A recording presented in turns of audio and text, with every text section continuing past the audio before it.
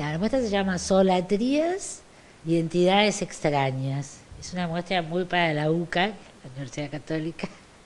Este, Viste que solatrías son los que adoran a los animales.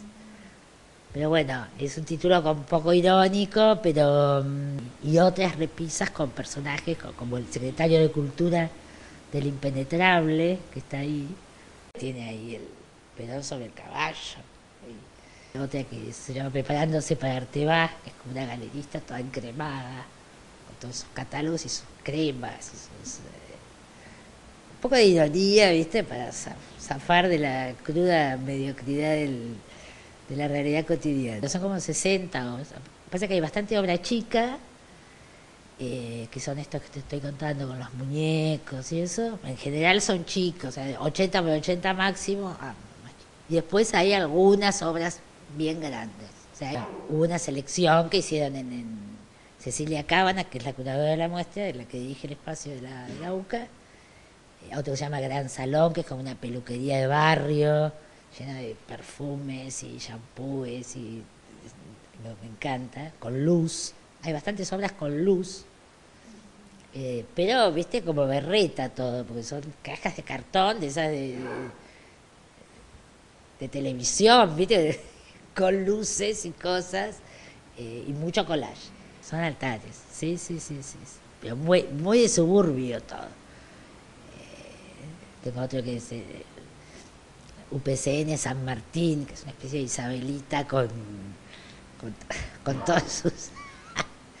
como es? La secretaria de Cultura de UPCN San Martín, ¿viste? Entonces, ese imaginario, bueno, que yo lo laburé siempre en realidad agarra el dedillo y empiezo a buscar, ¿viste? Busco los, los, negocios chinos, empiezo a juntar cosas y después lo armo.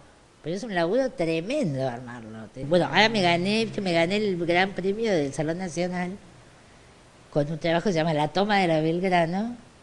Y son dos chicas que yo conocí en la, en actividad que hicimos en la, Escuela de Bellas Artes, ¿viste? En la Manuel Belgrano bueno, yo estas dos chicas que me ayudaban un montón cuando hicimos esa revista, eh, yo me veía reflejada a Hilda, mi amiga Hilda y a mí, en ellas, a JP.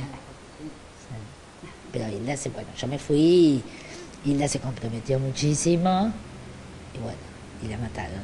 Toda, esa obra tiene, tiene relación con, sí, con los desaparecidos y con y con estas presencias, viste, que, que, yo siento como que están, pues, como una imagen fantasmagórica, pero está, están, están en el río, están, viste, es como una cosa con la que convivimos, por lo menos la gente de mi generación.